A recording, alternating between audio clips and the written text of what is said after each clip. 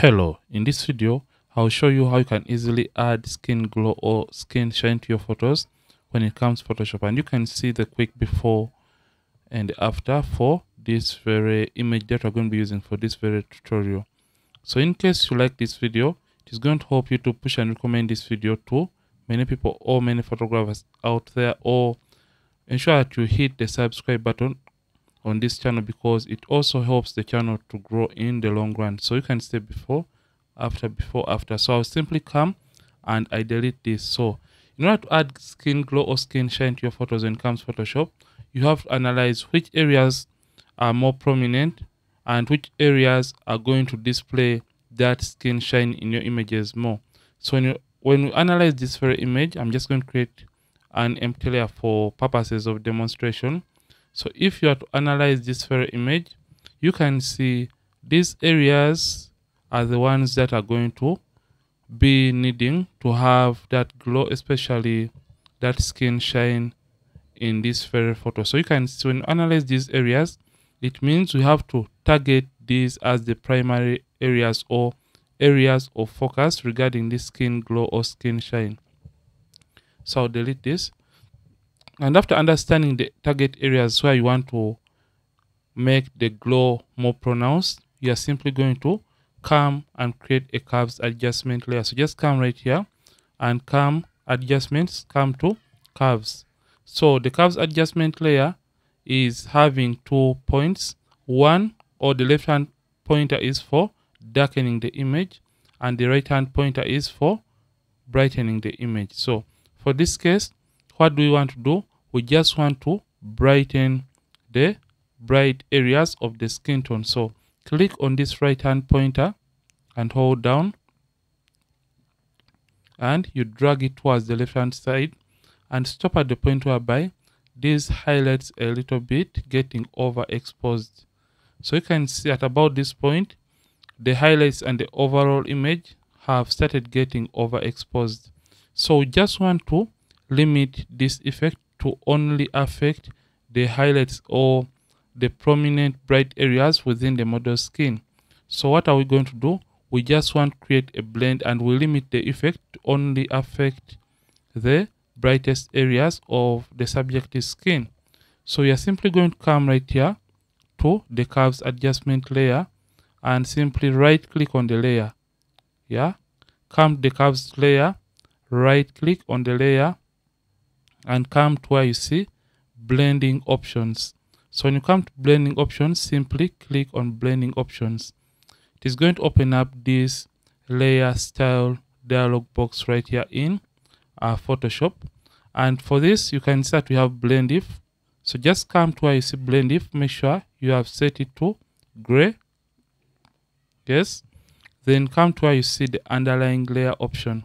So the reason for choosing underlying layer is because we want the effect to affect the underlying layer, which is the background layer for this very case.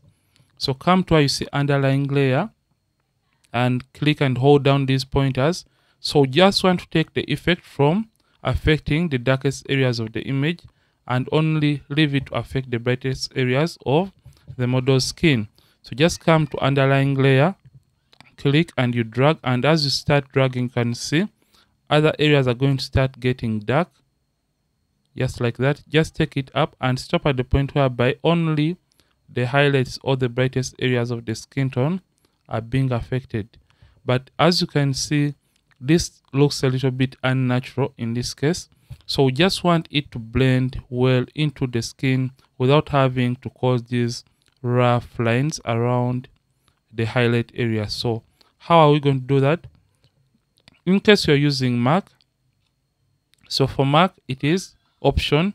For Windows, it is alternate or out. So hold down the option button and click on this right hand pointer. You can see there are two pointers, one on the left, one on the right. So option and click on this right hand pointer and drag it towards the right hand side until or stop at the point whereby the effect is blending well into the highlight area. Don't take it all the way up because when you do that you're going to lose out on the effect. So just stop at the point whereby the effect is blending into uh, the model skin just like that. And the transition is very nice and smooth for this case. We're just going to come click ok. So when you turn this on and off you can see the effect is as well affecting some areas of of her hair and some areas in the background. So you can say before and after and even the brightest areas like the teeth and the eyes. But we only want to limit this effect to affect only the skin.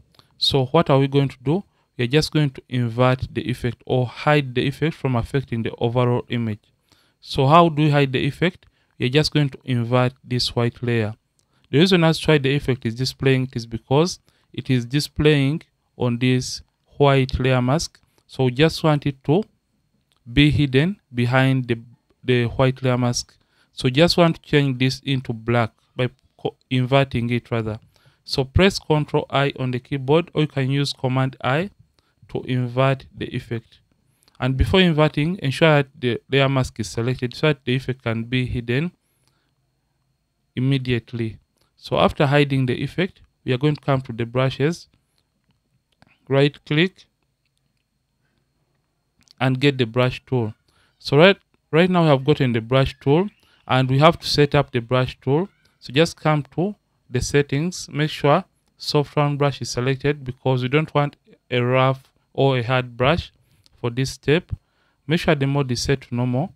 Opacity is 100% flow at 100% and make sure you have black and white on these two color swatches so in case you have any other random color apart from black and white, you can simply press D on the keyboard or you can reset by uh, simply clicking on these tiny swatches.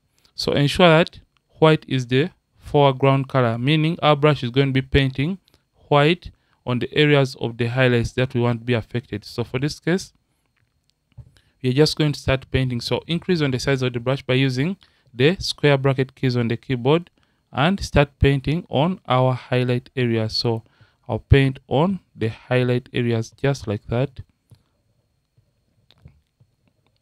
So I have painted on the highlight area. So paint on the highlight area while spreading the effect even more into other areas just like that so that it can blend well or even better into the skin so after you have done that you can see the before and after before after in order to make this even more pronounced, in case it's not enough for you, come to the blend mode and change it from normal to linear dodge and you can see how that has turned out to look a little bit too much. So always come the opacity and drop down or reduce on the opacity so that the effect can look a little bit more natural and a little bit more realistic. So at about 39 or 37, that is okay. So you can say before after before after.